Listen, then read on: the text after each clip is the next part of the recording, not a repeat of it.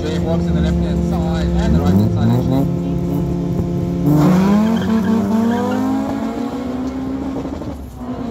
Woo! Hold that. Yeah, yeah, yeah, yeah. No, no, no.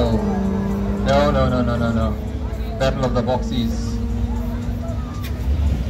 He's doing it as first because there's no way in the hell that that car makes that much power with speed five. And I, I don't mean that in a bad way, but it's just. 187 left side, 190.6 right side.